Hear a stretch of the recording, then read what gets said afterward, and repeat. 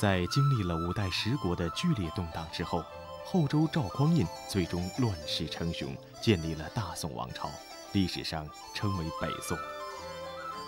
北宋的统一消除了封建割据的阻隔，稳定的政治局面也为其他行业的发展和进步提供了条件。其中以制瓷业尤为突出。中国的陶瓷工艺发展到宋代，已经达到了炉火纯青的成熟阶段。在艺术上取得了空前绝后的成就。这一时期，南北方各窑之间风格迥异，特点明显，令人叹为观止。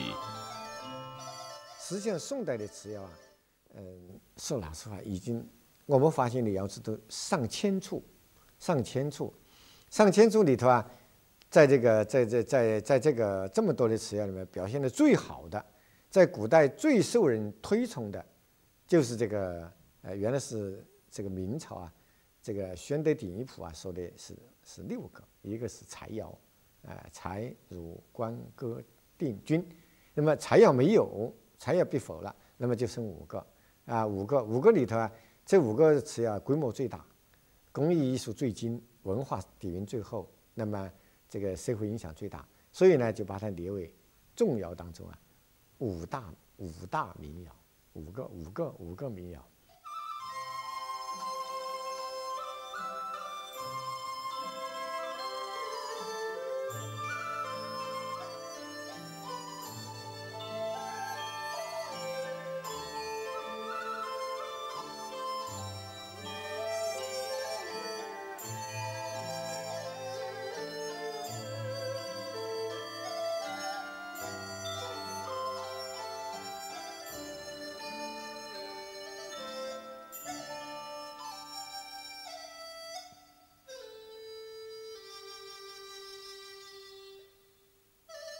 原来的五大名窑当中啊，它每一个窑啊，都多多少少跟皇宫有联系，明显的记载着进入宫廷，所以它有的呢，已经成为一种宫廷艺术的一个组成部分。按照皇帝的意志，按照皇帝的审美要求，按照皇帝的这个这这这这这个这个呃需要来进行生产，由皇帝的这个太官署啊，那么他们来选。进入宫廷，所以他一进入宫廷以后啊，他身价倍增，都跟跟皇宫啊都多多少少有些联系，这样呢把他们呢定的品位最高贵。但是当然他们也有他独特的地方，就是为什么他能够进入宫廷呢？就是他质量好，就是他的这个呃艺术精啊，就是他文化底蕴深厚。所以他因为有这些因素，所以才进入皇宫，有那个宫廷艺术的因素在里头。宋代造瓷事业与当时的皇族大臣有着密切的关系。宋徽宗虽然料理国家毫无天分可言，但艺术才能极高，能诗绘画，好古成皮，写一手好字。中国历代帝王中，除乾隆皇帝外，无人可比。为了满足仿古的愿望，这个纨绔子弟型的帝王甚至不惜民力到江南采运花木竹石，这也就是《水浒》中所描写的花石纲工程。宋朝是一个，呃，文化最发达的时代。宋朝皇帝啊，这个带兵打仗是不行，但是呢，读书可是厉害。他规定皇帝必须读书。比如说宋朝那个梅嫔，梅嫔实际上叫金嫔，就是皇帝听经，有有那个，呃，有这个这个理学家来来讲经，讲经他那瓶子啊，呃，装酒呢要招待这个呃经师和这个和这个这个听众。那么这个这个瓶子啊，就是专门来。装装酒来招待这军品，所以他皇帝提倡读书，呃，另外民间也在读书，所以老弱妇孺皆读圣贤语。那么这个各地的书院，还有四大类书，什么《太平广记》啊，《文婉英华》呀，《财富圆规》啦，这个这个呃呃《太平御览》啦，这些四大类书出现，这都是空前的，活字印刷，所以这个教育提高了，文化水平提高了，文化底蕴深厚了，所以宋朝啊，才产生出来这种。呃，高尚的，呃，这个含有很高文化素、文化底蕴的瓷器出现，这个是以前所没有的。宋代是中国古代科学技术飞速发展的时代，四大发明中的指南针、火药、印刷术就产生于这一时期。同样，宋代也是中国瓷器制造业大发展的时期，是一个瓷的时代。这一时期，官窑辈出，私窑风起，响应者更是不计其数，民窑遍布南北各地，并各擅其长。而出于商业竞争的目的，各地纷纷发明和采用新的工艺技术，形成各处独有的特点，可谓各有千秋。由于地缘关系和人文环境的差异，烧出了不同风格的瓷器。五大名窑间的争奇斗艳，就是最有力的证明。我们曾经呢，在这个调查窑址当中发现，那个凡是钧窑的窑址里面，那么烧那种青釉的瓷片，就是那个青绿色的釉的瓷片，占最大多数，占最大多数。而这个它长它的长处呢，就是在这种青釉里面引进了这种铜红釉，烧的呀，那么这个铜红釉啊，在这个玻璃釉里面出现了。烧的呢，这个呃非常的艳美，有的呢就像那个呃刚刚这个早霞刚刚出来，就像天边的早霞一样；有的呢又像落日的余晖，那么有的呢那个铜红釉啊，它有的又像那个呃成熟的这个秋海棠，啊有的呢就像成熟的这个玫瑰，它这个各各种颜色，所以它这个色彩上啊特别的丰富，在陶瓷美学上啊开辟了一个新的天地。所以啊，不同信仰、不同年龄、不同这个精神状态、不同爱好，那么凡是哪一种这个这个人呢，都喜欢它，因为它的色彩太丰富了。哪一种人呢，都会从它那里得到一种是这个瓷器的色彩的美的感受。钧瓷发源于河南省禹州市神后镇，那里地处山区，自然资源丰富，古来就有“南山煤，西山釉，东山瓷土，处处有”的说法。根据实践，生产钧瓷如果离开这些条件，在任何国家都不会成功。钧瓷常见的釉色有玫瑰紫、海棠红、梅子青等等。这个彩色里头有一个奇妙的地方，就是蚯蚓走泥。因为丁窑这个这个这个钧窑啊，它的胎呀和釉啊，釉上的比较厚啊，它在这个风干的时候，在晾干时，它就有点有点裂缝。然后在烧窑的开始的时候啊。这个温度温度在在上升的时候啊，它的釉和胎体都有一定的裂，有的竖向裂的、斜着裂的、横的裂，大大小，但是不影响到破碎，它不破碎。在这个温度上升到这个釉面涌涌的时候、沸腾的时候啊，这个釉面沸腾的时候，它的钴类物质啊就就在里头啊，这个这个这个沸腾，呃动动荡，动荡呢，这么这个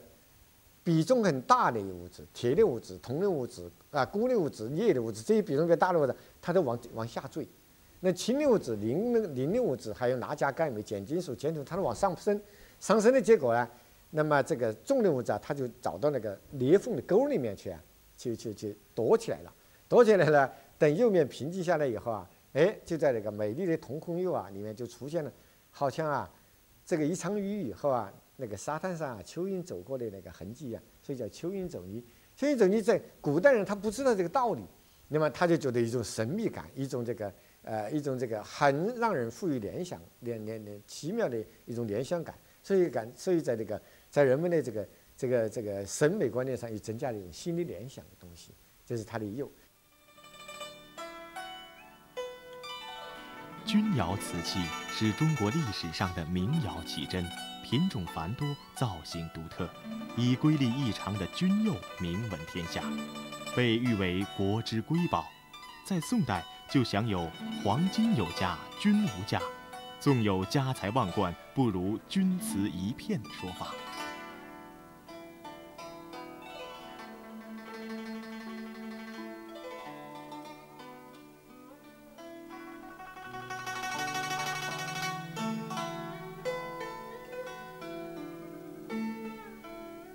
他很端庄，讲究那种皇家艺术的气质啊，他用这个。呃，短线、长线、弧线各个组成的这个器物造型的结构啊，非常完美，非常和谐，而且这个这个这个这个这个造型庄重典雅，那么看起来啊，真是一种王者之气。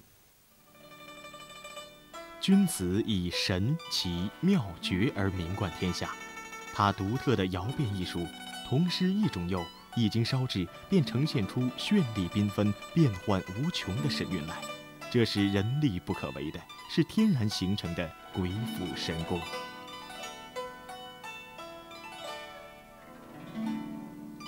同时，钧瓷似琴如铃的开片声优雅骇俗，欲动于静。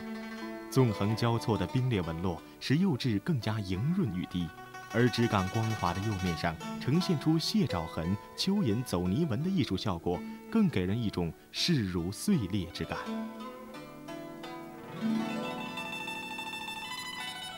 钧瓷之妙，妙在它极富艺术灵犀，它能给人无尽的遐想。在不同的角度、不同的光线，给你以新的发现、新的感受，灵动透活而别具神韵。古诗中就有“钧瓷无双，窑变无对”的赞誉，意境万千的钧瓷画卷让世人惊叹不已。在这一时期，能够与造型沉稳厚重的钧瓷形成鲜明对比的，就要算以轻灵飘逸著称的定瓷了。定瓷的发源地河北曲阳是太行山西的天宝之地，依山傍水，人杰地灵。中国瓷器历来分南北二系，南青北白，北方白瓷以邢窑为早期代表，继之以定窑。一九七二年，时任日本首相的田中角荣访问中国，周恩来热情地接待了来自邻邦的客人。曾于抗日战争期间驻扎在定州的田中，在与周恩来的会面中提及了中国的定瓷，甚至想亲身前往考察。意外的事情同样发生在这片土地上。就在中国的抗日战争进入关键时期的一九四一年，一位痴迷于中国古陶瓷的日本人小山富士夫，冒着战争的硝烟，专程来到曲阳境内的这片遗址群。回国时，他带走了一千两百零五片定瓷碎片。并在东京搞了一个颇具规模的中国定窑瓷片展，当时在日本引起了巨大的轰动。来自海外的关注引起了中国政府的高度重视，周恩来为此做重要批示，有关部门拨专款以此拯救定窑。失落了八百多年的定窑瓷器，在人们本已模糊的视线中，逐渐变得清晰。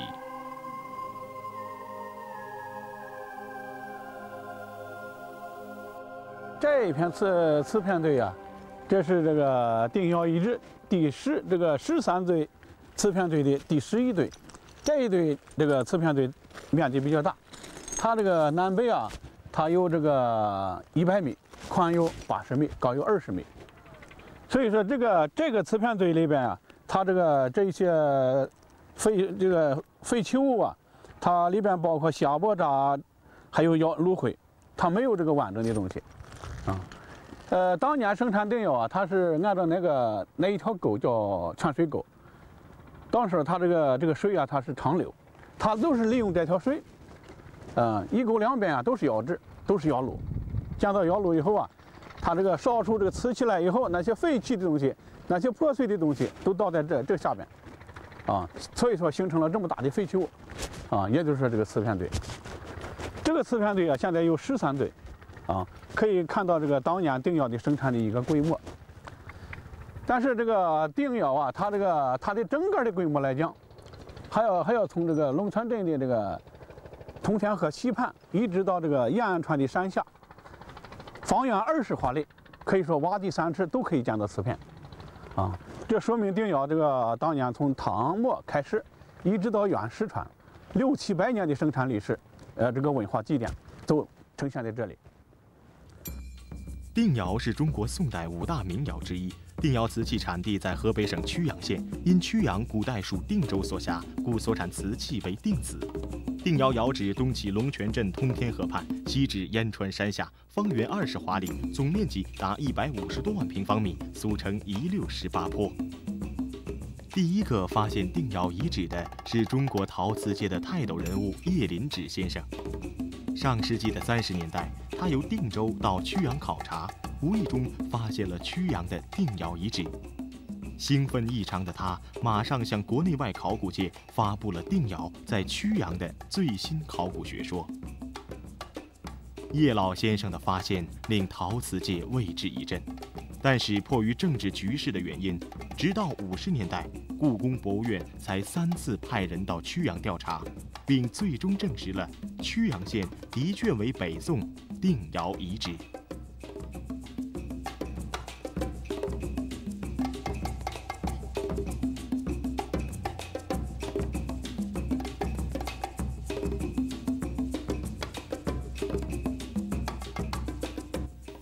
应该说是这个吸收了邢窑的好多方面的东西，因为邢窑早于定窑，在定窑这个定这个邢窑的这个兴盛时期，应该说是唐五代时期，五代以后邢窑逐步衰败，而继起的啊就是定窑，定窑在这个唐代，在唐末它开始创烧，到了五代时期是它一个一个这个发展，一个这个。一个成熟时期，哎，到了北宋，它才正式正哎正式它成成熟起来，是吧？到了宋代，人们只知道有有定窑，而不知道有邢窑了。在整个定瓷生产史上，盘碗可算生产重点。从现存遗址看，它不仅数量大，而做工亦精。器物造型方面，设计线形多直立，讲究挺拔俊美，少妩媚婀娜。它既不像汉唐的强健浑木，又不累后代明清的繁琐。从艺术风格而言，这即为定瓷变革的明显标志。定窑瓷器的装饰普遍使用刻花和印花的方式，而这两种方法也是定窑首创的。在五彩出现之前，它们的出现改变了陶器装饰的历史。但是，古代刻花印花的技法早已失传，今天的人们已经无法了解宋代的工匠们用的是什么刀具了。定瓷后世传人陈文增突发奇想，他受到中国书法用笔讲究一挥而就的启发，历经多年探索，发明了单线刀、双线刀和组线刀，使失传八百多年的雕刻技法刹那之间活灵活现地展现在世人面前。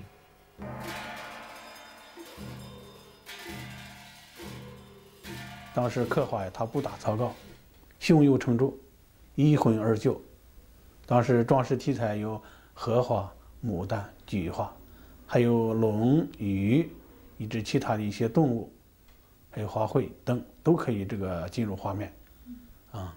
但是这个除了刻画画以外，还有一种工艺是印画。印花呀是先做陶范，先做一个模具，在这个模具上，它是这个这个模具是翻刻的模具，然后这个再上这个陶范上再拍，用这个呃拉坯的那种这个那个雏形吧，也就是那个样子拍在这个上面，比如说个盘子盘子的样子，还是这个碗的样子拍在上面，啊，它的印出来反过来都成了花纹，就成了正的了，也就是成了阳纹。啊，然后在这个再在这个地，在这个背面修再进行修正，也都叫修坯，然后再修出底座，然后拿过来，这就是一个盘子或者是一个碗，啊，呃，再看这个碗的里面，它就是花纹，印花纹，花纹有这个缠枝牡丹呀，或者是这个双凤纹啦，这个双龙纹啦等等，嗯，这题材也非常广泛，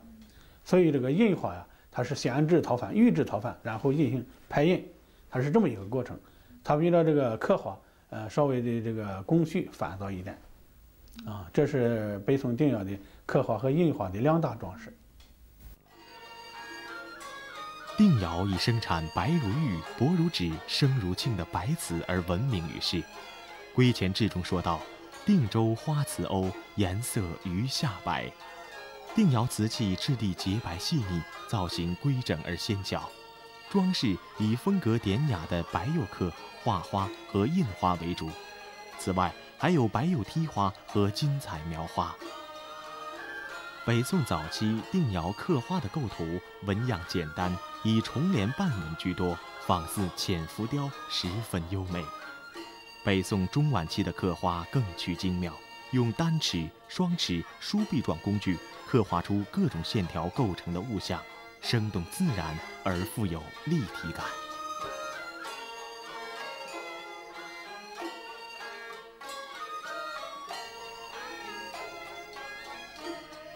印花是用处仅次于刻画的一种较华贵庄重的装饰手法，它不像刻画那样在一件器物上尽情地表现个性和灵感，而是先把图案进行初加工，形成与索拉盘碗规格一致的不同陶范。然后取拉好的半湿坯扣在陶范上进行拍印，烧干后修坯，工艺非常考究。定瓷刻印装饰开中国陶瓷之先河，巧施机疏，地道灵活，饶具精神。宋代定瓷敢于冲破樊篱，独树一帜，南北诸窑争相仿制，形成了宋代定窑风靡天下的大势。定窑拉坯啊，它是靠那个轮盘旋转，它有一个方向，一般都是这么旋转。但是定窑轮盘这个这个这个这个这个辘轳车这个旋转方向，一定要符合于这个揉泥这个旋转方向。这个泥啊，在案板上要进行揉搓，是吧？它不能直接从这个胶泥机拿出来以后都可以用，不是直接用的，它是进行揉揉搓。它这个揉的这个泥泥的那个那个粒子那个方向啊。跟放在这个铝盘上的方向要一致，这才能拉出来那个坯子。然后你再一敲击，它那个那个声音是随着那个那个器皿，一般都是指盘或碗，随着那个那个器皿的声音由低到上面释放出来，声音非常优美。这是它的奥秘。定窑的这个声音啊，我归纳四个字，也是浑厚悠长。浑厚，很浑厚，但是它这个声音打出来以后，它久久不断。悠长，也就是说余音很久，这是它的一个一个特点。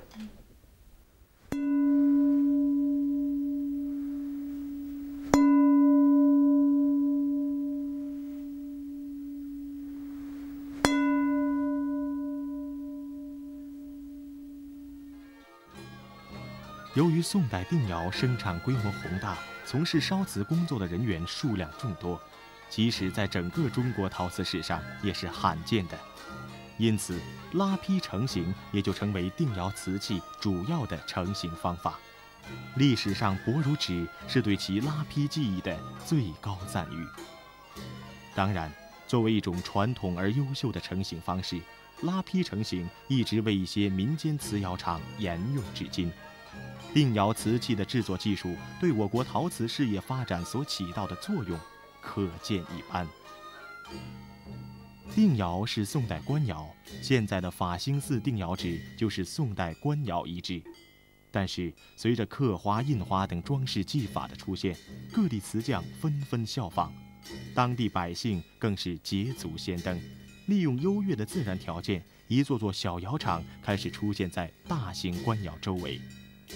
放眼望去，大小高矮总起的都是窑厂，形成了宋代定窑官民同步发展的壮观景象。当时宋代是定窑、民窑、官民同步发展时期，它有这个丰这个比较雄厚的设备、雄厚的设计人才、技术人才。哎，这是官窑，哎，官窑它有这个雄厚的设备、技术人才。在民窑，它相对的说就差一点，它但但是它也沿用了这这官窑的一些这个一些技术，啊，你比如说这个呃造型方面的这个图样图样样子，还有装饰画画面方面的东西，它这民窑在在向官窑学习，它是这么一个过程。但这个我觉得这个宋代北宋时期啊，应该是这个官窑就像一棵大树，民窑它是分散这个树上的枝叶。它是同步发展，它是一个完整的整体。作为中国白瓷之优秀代表，定瓷釉色灵动温和，质地坚密，气宇轩昂，超凡脱俗，更着以淡雅纹饰，或印或刻，或凸或凹，含春花之清丽，蕴秋月之柔光。定窑崛起北方。识得其北宋社会稳定之天时，曲阳水土之地利，一方工匠技术之人和。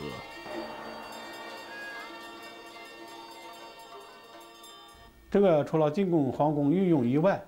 它还有大部分瓷器就进入去，比如说咱们这个邻邦日本，还有朝鲜，当时高丽是吧？他们那里很多瓷器就是仿的定窑瓷器，仿的定窑的造型。呃，这个在一些考古发现一些文字记载，这个都很多了。历史上定瓷的出现，不仅促进了中华民族手工艺术的进步与繁荣，更以磅礴迅猛之势影响着邻邦陶瓷工艺的发展。日本诗人虎关诗恋在他的蓟北集里这样称赞定窑瓷器：“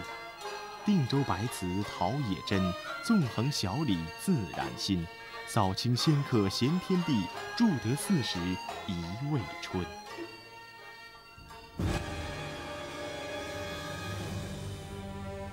正当定窑瓷器的发展如日中天之际，一场改变中国陶瓷历史的战争爆发了，那就是中国封建历史上著名的宋金之战。金在与宋联合灭辽的过程中，洞察到了大宋的朝政腐败，军队战斗力低下，于一一二五年十月发兵十万，分两路南下攻宋。但因宋军拼死抵抗，金军被迫北撤。到了靖康元年，也就是公元一一二六年八月，金军卷土重来，并于靖康二年攻破东京城，北宋灭亡。宋氏被迫南迁，建立南宋王朝，这就是历史上有名的靖康之变。旷日持久的战争，不仅使中原人民蒙受了巨大的灾难，也使原本兴旺发达的宋代制瓷业惨遭劫祸。定窑瓷器的生产遭受了灭顶之灾，大批工匠随时局南迁，这就是历史上著名的北定南迁。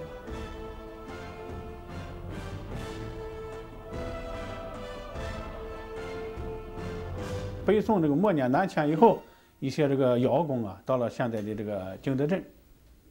将近包括吉州那一带、南方一带，这些窑工啊，他过去以后。他也利用在北方制作定窑的这种工艺，在景德镇发展发展陶瓷，历史上称为南定。实际上，这个有的史书上说是叫方定，这个也也这也讲得过去。但是南定啊，它虽然是说按照这个北方的制作定窑的工艺做的，但是由于这个南方的气候、原料、移植工艺啊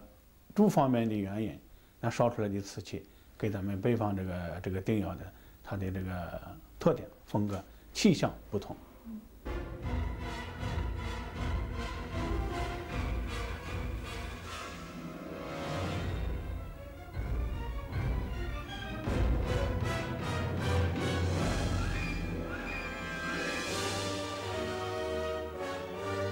金家安定以后，开始生产定窑，是吧？又开始定窑开始恢复。但元朝过来，把金家灭掉。然后又把南宋灭掉，这平年的战争是民不聊生，所以啊，咱们这这一代可以说就是战场，是吧？赤地千里，所所以说呀，这个这个定窑它就不复存在，嗯，一直到这个后来的奄奄一息，现在，呃，到现在已经失传八百余年。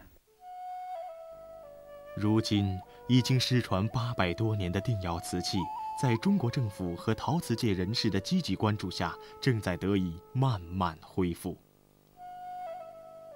定瓷后世传人陈文曾在一首诗中这样写道：“原无意志醉流霞，检点平生慢虚夸。昨日红颜凋已尽，我今画鹤引梅花。”据他自己所说，诗中红颜知己并非那个女子，而是指定窑。